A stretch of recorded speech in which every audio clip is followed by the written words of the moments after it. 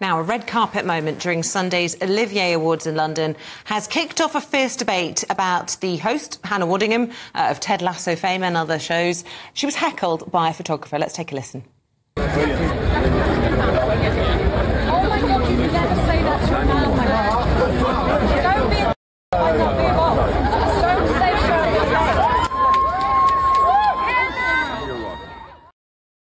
Oh, she got in a rage there. Um, so the, I think the understanding that we have is there's an official lineup on the green carpet, as they had there, where the press photographers will say, over here, and you look at all the cameras. And this was after that little thing had happened. And one of the photographers, Shannon, show us some leg. And she said, oh If anybody shouted that to you, don't be. you I'd have shown them some leg. well, yes, but I there are. I think perhaps she was being a bit tetchy. There is my personal opinion, but I do think there are situations where it's really quite intimidating. Um, let's get Well, but you see, the, women. the thing is, I come back and you won't be able to see this, but there's a picture of Hannah, and she is showing a leg. Yeah. So, is it an instruction, a request from uh, the photographer? And I mean, to say you wouldn't ask a man that, well, of course you wouldn't. in trousers. Yeah, and, and who's interested in my leg or anything else Well, that you I've never got know, to show? Eamonn. You never know. Um, let's talk to the TV personality and columnist, and indeed our friend Lizzie Cundy, as well as the broadcaster. I'm not sure of an opinion or two. Paula London. Welcome, ladies. Thank you. Thank you. Um, go on then, Lizzie. What did you think of all of this? Well, I think Hannah was totally oversensitive. It was over the top and over dramatic and unnecessary. Um, look, she's not dressed up like that to do the ironing at home, is she? She wants to get pictured and she's put on a dress that has got a slit in it. If she didn't want them to say, you know, show us your leg, then wear a trouser suit. That you know, you, she's got to play the game, and she'd be the one that'd be so upset if she wasn't in any of the papers the next day. And obviously, she, you know, this worked for her because she got everywhere. But you mm. know, if she if she wasn't happy, she should have worn a trouser suit, not a dress with a slit. I disagree. She was the host of the show. She wasn't just the guest, so she was bound to make the press anyway. And it is disrespectful to demand, show me a leg. If she wanted to show her leg, that's fine. And also, she's an award winning actress. She's worked very hard to get to where she is. She's in her late 40s. She's not a 20 year old influencer. You know, some 20 year old influencers go to events, even pay to go to events. Why is she showing her leg in that picture? And yeah, but I mean, if, if a paparazzi Exactly. asks an influencer to show me a leg, they will see it as a compliment. They'll see it as direction. But he demanded. It's not for him to demand, and he wasn't on the official press line either.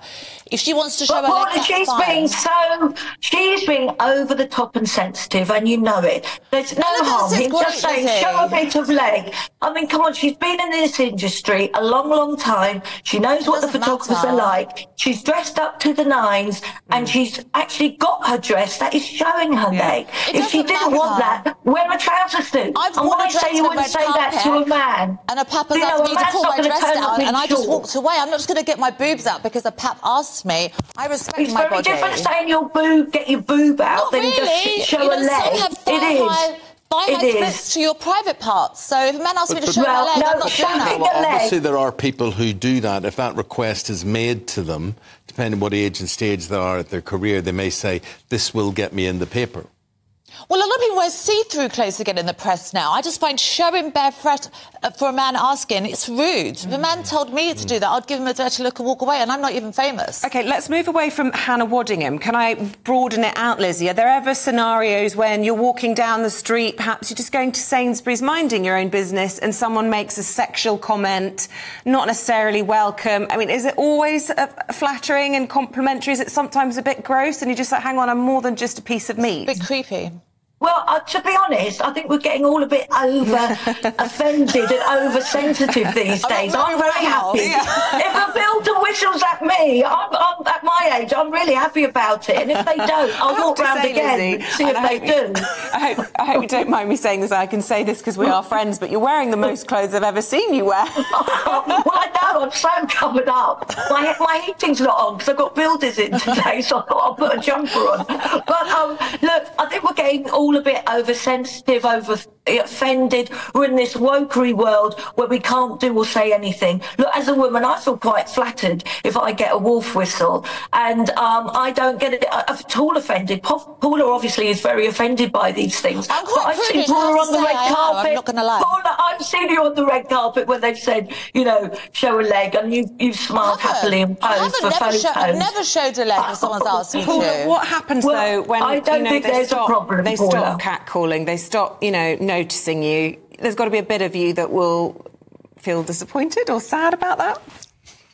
And I'm sure, as I was saying, Hannah would be very, very upset if she wasn't in the papers the next day or featured in any way. Yes, she was the host of the Olivier Awards. It's one of the biggest, brightest night, full of stars, and she looks sensational. And there is really no harm in it. I think she's been really oversensitive here.